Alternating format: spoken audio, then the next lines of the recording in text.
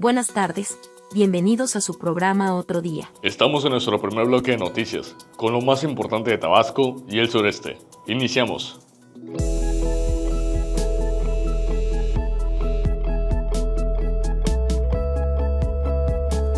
Niegan candidatos voto informado a ciudadanos.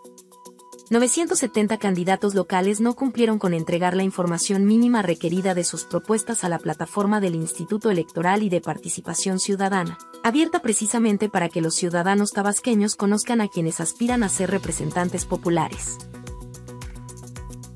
Ya votaron 105 tabasqueños con discapacidad.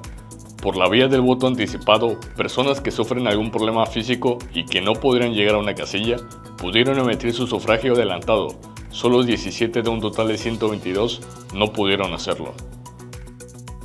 Rebasadas bodegas industriales en Villahermosa. La construcción de este tipo de inmuebles se ha detenido, pese al crecimiento industrial de la ciudad.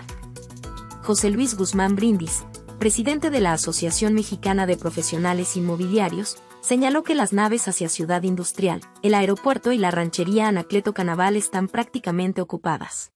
Es más hacia eh, lo que es aeropuerto eh, Macuspana, pues acuérdense que están los, las naves de Chedraui y otros lados, entonces es hacia allá donde se está tirando eh, las eh, inversionistas buscando este tipo de ¿Qué tanto es la demanda que se tiene en este tipo de, pues, de inmuebles? Hoy, hoy hay demanda eh, suficiente como para que no hubiera eh, tanta, tanta bodega disponible, porque no hay la infraestructura, no hay edificaciones de este tipo.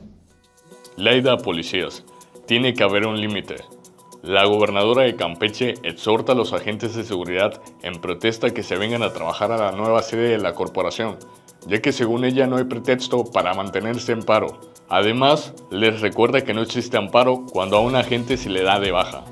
pero ojalá eh, siguen engañados, pero saben que nosotros estaremos hasta el final, aquí con las puertas abiertas, hasta el final de, que, de, de la víspera que yo diga, hasta aquí, porque tiene que haber también un límite, ¿no? Entonces, yo creo que ya la próxima semana diremos cuál es el último día que recibimos al, al policía que quiera venirse. Entonces, ya ellos que tomen la decisión. Gracias por acompañarnos, los esperamos en el próximo segmento en punto de las 5 de la tarde. No olvide que puede seguir informado a través de nuestro sitio web www.sintexto.com. Buen provecho.